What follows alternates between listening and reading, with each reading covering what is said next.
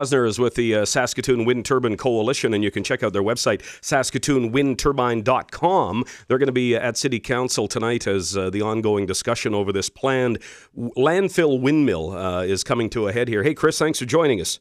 Thanks, Brent. You know, I don't live in Montgomery. I live out on the east side of the city, and I've been sitting on the fence on this project, to be quite honest. But after looking at your information on your website uh, and the discussion I've had with some other people regarding what some people perceive to be some some limited, uh, uh, you know, information that's out there as possible negative effects on on people as far as those who live in the area. What what drives me as a resident of Saskatoon is I'm thinking, hmm, maybe when I hear Pat Lorje saying five million dollars, and is this thing really going to pay for itself? I think that's probably probably what's going to uh, impact a lot of people in our city is just the cost and whether the returns there.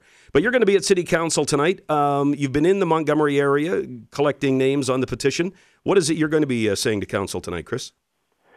Well, what we're going to be going into Council is saying that although they've uh, they've actually listened to what residents have been saying and and it looks like they are going to be pushing back the decision to choose a contractor into the new year uh, I believe January 16th, we still are going to show up and uh, present a deputation saying that um, the city has engaged us for discussions and it seems like a positive step, but we but we need action.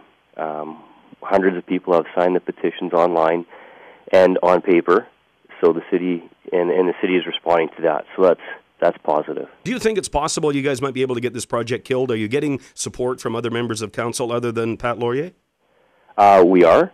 We are getting getting support, and I think it's a matter of the councilors taking a closer look at the information. I think probably uh, the councilors being as busy as they are, you know, if you're presented with a solution that uh, looks on, on the surface to be green and make the city money, it'd be pretty hard not to, to vote in, in favor of that. Mm-hmm. And um, we just think that a little bit more digging has to be done, maybe a, a little bit more research.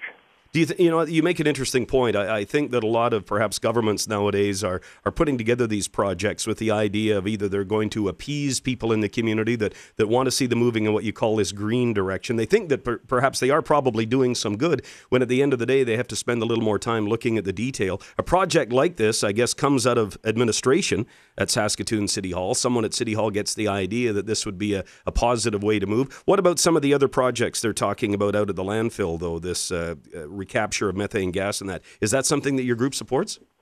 Well, you, to tell you the truth, Brent, we support all all the green efforts if they make sense. Um, the uh, as far as the turbo expander and the methane gas recapture go, from what I've seen, mm-hmm. um, they both seem to make sense. And any research that I've done briefly on those, I haven't found any issues world, worldwide with those kind of projects. Mm-hmm so I haven't dug down into them, and, and uh, none of us claim to be experts on, on our um, group.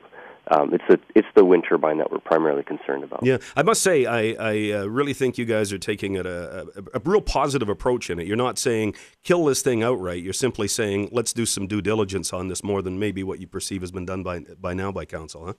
Exactly. We just want to make sure that the solution is truly safe and is truly smart, and we think that there's precedent around the world showing that the city has to take you know a little bit of a closer look. Even in our own country, um, in the province of Quebec, they've got two kilometer setbacks. So we have to ask why are these other places around the world, like Australia, with five kilometer setbacks? Why are they doing this? Um, uh, there must be a reason for it because obviously it would be more expensive to do that. So there must be a good reason. Well, we wish you luck. I look forward to your presentation at council tonight and uh, see what council decides to do with this project from here on. Chris, thanks for your time.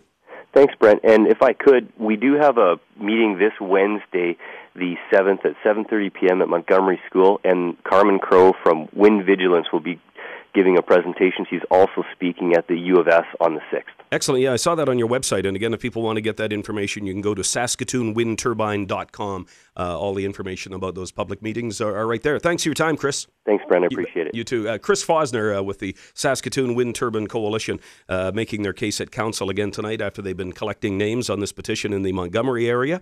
And uh, we'll see. Uh, is this project going to fly? stay tuned. Interesting. As I say, as a taxpayer, I think that's what strikes me more than anything is you start to look at the numbers and say, well, gee, is this thing really going to pay for itself in five years? A $5 million project for one lone wind turbine at the landfill.